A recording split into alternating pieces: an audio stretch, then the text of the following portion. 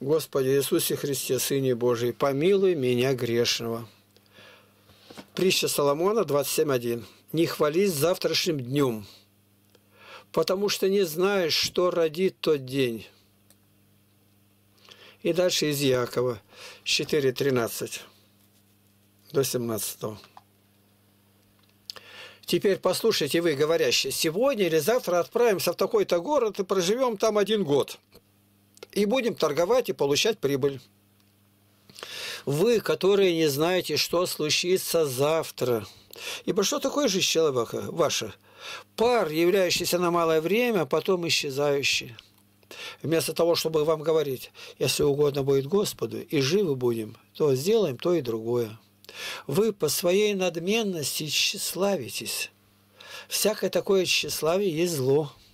Итак, кто разумеет делать добро и не делает, тому грех. 6 июня 2019 года. Иное объявление. Умерла сестра, остались дети.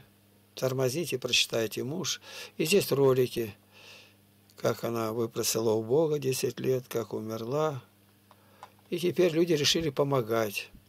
Ну, кто-то сказал, вот, пожалуйста, как это получается, деньги, куда они идут, какой отсчет, тут все абсолютно все четко и ясно. Вот так.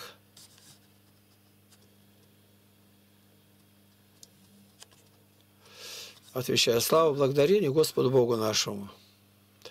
Моим рукам пришлось работать усердно и много. Вредило их здоровью, что работа с отбойным молотком на бетонных массивах. Руки мои были не раз выкручены. И на остеклении фонарей, пролетов на крышах заводов при минус 40 градусах. Мерзли нещадно, так что инвалидность была дана, руки были недвижимы на перевязи. Про ноги не упоминаю, столько им досталось мерзнуть и быть при перегревах глазам при мониторе более 50 тысяч часов. Мне говорят, ты постарел. Неправда, то не мой удел. Хочу уверить вас, друзья, я не старею никогда. Стареет хижина моя, но эта хижина не я. Сидеют волосы. Так что ж, седой советники хорош. Глаза тускнеют? Не беда. Я вижу Господа всегда, и верно, следуя за Ним, Его десницею, не деницею, а десницею храним. Своей безжалостной урсахой лицо мне время бороздит. Пускай в душе моей покой, она ничем не возмутит. И силы есть еще во мне идти к обещанной стране. Слабеют ноги, ничего, прошла их резвости пора. Трясутся руки от того, что мало сделали добра. Неясно говорят уста, так слушать я могу Христа. Возможно, что уже мой слух и притуплен, но чуткий дух внимает Господа словам, как нежной ангельской трубе. Я приготовил место вам, приду и вас возьму к себе. Так водится из века в век, отходит в вечность человек.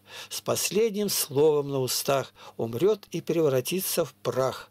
И будет мирно там лежать, пока Господь придет опять. А внутренний он каждый день в познании истины растет и обновляется во всем, а силы в силу он идет. Скажите, нужно ли стареть, когда возможно молодеть? Когда разрушится мой дом, в котором я теперь живу, тогда явлюсь я пред Христом в небесном радостном краю. Там отдохну от тяжких дел и докажу, не постарел. А тут нам желает ехать, я объясняю, как ехать. Звонить не олекать, сразу говорить, кто и откуда. Олекать я уже ничего не могу сказать, потому что хулиганы идут. Вот, торгующие в храме аят Божий храм и торговля несовместимы на нашем сайте. Дмитрию. Папа Римский утвердил изменение текста «Отче наш».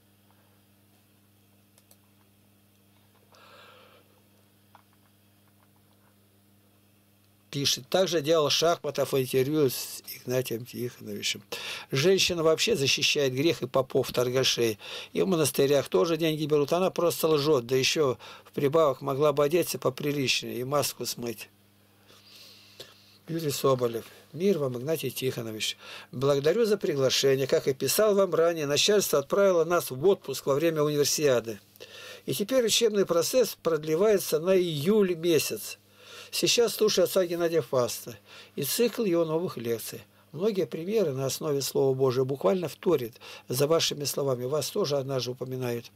Он одно очень интересный аргумент приводит в пользу полного погружения, когда, который я раньше не слышал, или просто не обращал внимания о полном погружении во Христа. Вас же, Игнатий Тихонович, благодарю, поминая ежедневно, как по случаю, так и перед Богом на молитве. Все пишу. Об Сергию спросили, отослал.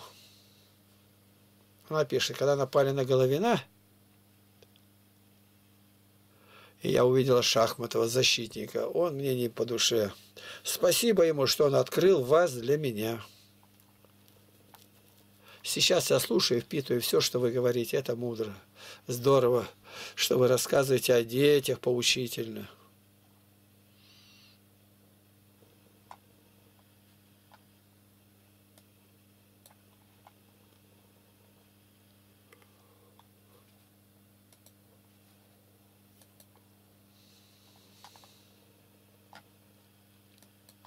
Тормозните и дальше пройдите.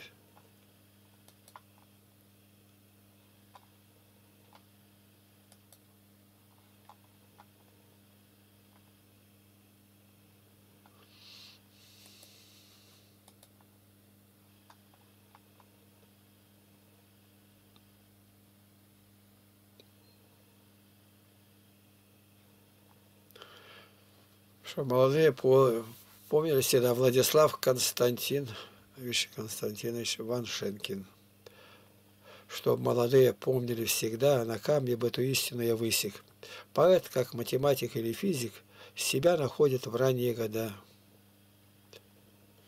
Потом он может на своем пути умирать и возрождаться снова. Но первое сияющее слово он должен молодым произнести. Всегда так было, будет только так. Талант своей немыслимой отваге идет вперед по белизне бумаги в одну из многочисленных атак.